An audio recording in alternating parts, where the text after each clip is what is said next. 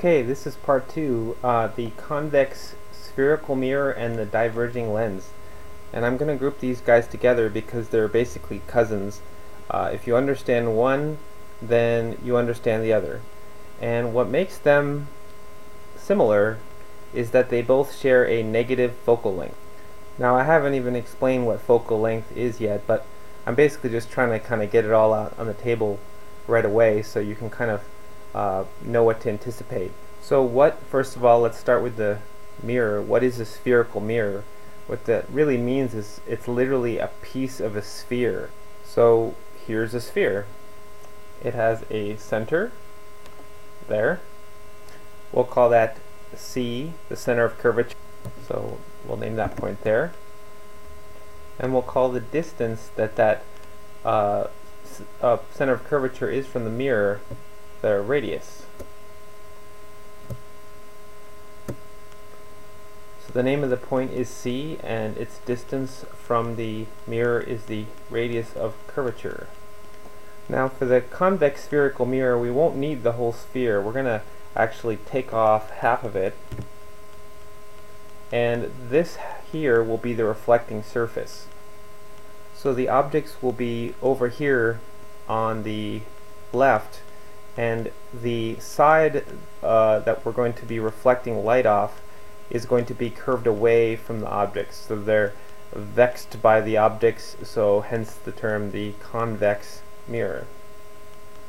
Now before we do much of anything, let's first drop in a symmetry axis. Uh, that's going to go exactly uh, halfway. It's going to bisect the mirror. That's ca called the optic axis and uh, basically that separates the mirror into a top half and a bottom half. So let me drop in my first object uh, here and it's going to be infinitely far away. Uh, obviously I can't draw that here. I can't draw this infinitely far away.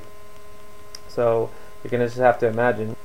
And remember that uh, our object distance for us in this class is always going to be positive. And so we have to imagine the light rays coming from this object parallel. Uh, as was discussed in the last video, if an object is really far away, the only light beams that are really going to reach the mirror are ones that are parallel because if they're even slightly angled, they're going to go above and uh, below the mirror already. So we can draw in these light beams coming in like so and let me go ahead and just uh, I'll put the arrowheads on in a moment. Okay, so there's the uh, incoming light. So now we have to figure out how that's going to interact with the mirror. So in a mirror, the operating principle is reflection. So we need to set up the reflection. So the law of reflection is just that whatever angle you come in to the normal, you'll reflect off at that same angle um, on the other side of the normal. So we have to drop in our normals here for each of these light beams. Now, in this case, it's actually pretty easy to draw the normals because uh, they all emanate from the center of curvature. If you think about a sphere, uh, any line that's drawn out from the center will hit perpendicularly the surface. So those are going to be your normals. So let me go ahead and drop those in. So there we go. Um, I've dropped in the normals for these two guys right here, and um, this one, the optic axis, is already actually the normal. So um, now I just need to draw my reflected beams. Um, so there's the uh, reflected beams. Hopefully these are at reasonably equal angles. Uh, I did the best I could. So the reflected angles should be the same as the incoming angle to the normal and uh, looks like I forgot to include the uh, one that just bounces off like this. Um, so it comes in at 0 degrees to normal and it bounces out 0 degrees to normal. So there is my reflected light. And uh, of course the light doesn't change color but I'm just trying to make this uh, diagram kind of clear. So I'm putting the reflected light in uh, red here so you can tell um, what it is. So here's what you can see is that the light comes in parallel but the action of this kind of mirror is actually to scatter the light so it uh, diverges it just by virtue of how it's shaped so it's shaped in this way so that light tends to get scattered or diverged by the mirror. So what if we were an observer somewhere over here uh, examining this light that's being bounced off the mirror, what would we see? Well, of course, all of the uh, mirrors and lenses, the whole principle is that whatever arrives at you, you think that it came directly from the source. So if you see this light kind of diverging like this, um, you don't realize that it got rerouted like that. You basically just take the light that arrives at you and trace it directly back in a straight line. So you're going to think that it came from here.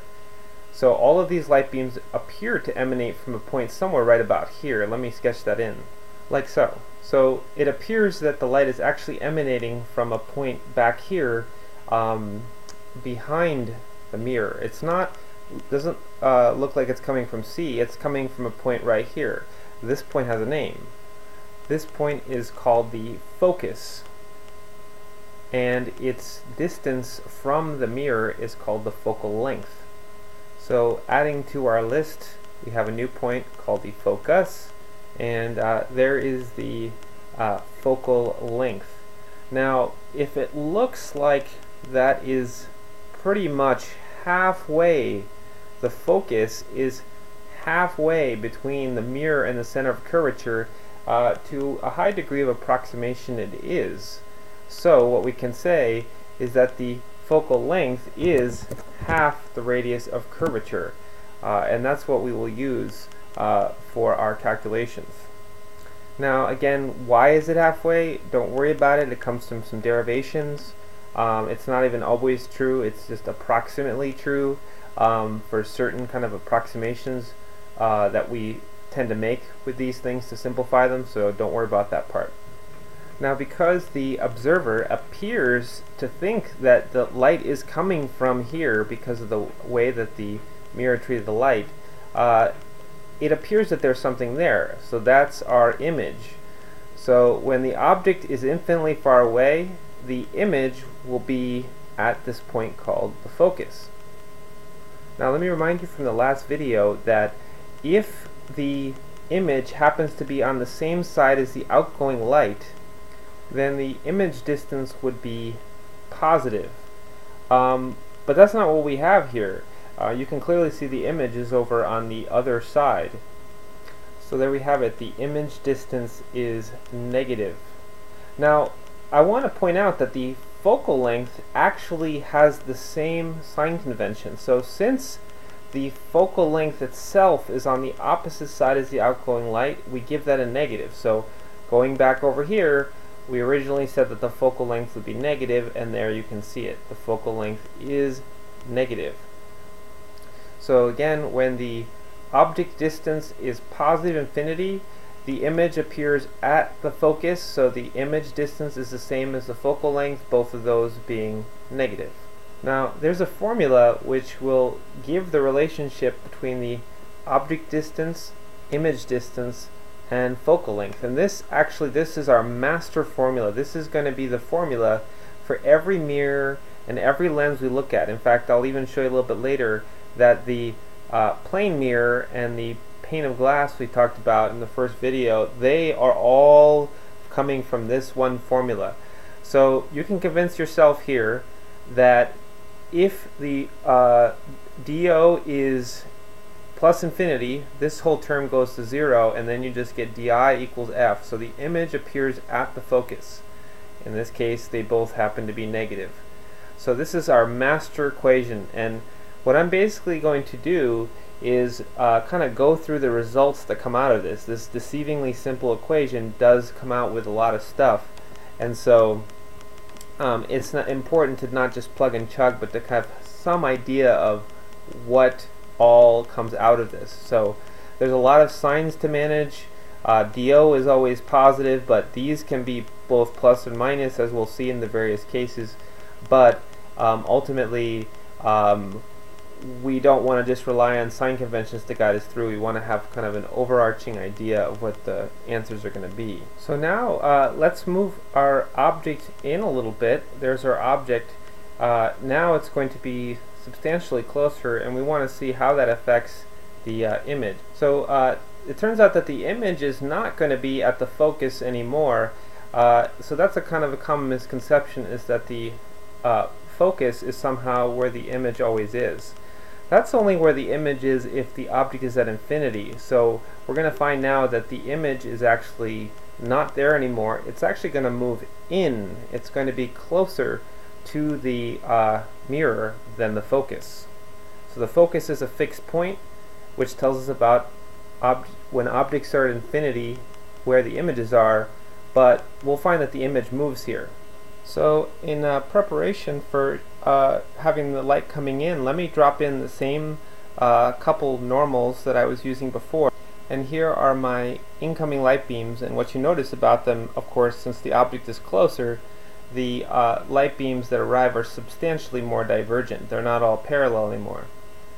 Uh, so there I have it. Uh, I've tried my best to have these reflect at equal angles. Uh, once again, it's just law of reflection. So uh, to an observer, it would appear that these light beams are now emanating from this location right here. So not at the focus anymore, but a point closer in. So now there will be appear to be an image right there. An observer will see the light rays appear to be emanating from a point right here. And notice now that the image is actually substantially closer to the mirror uh, than it was before.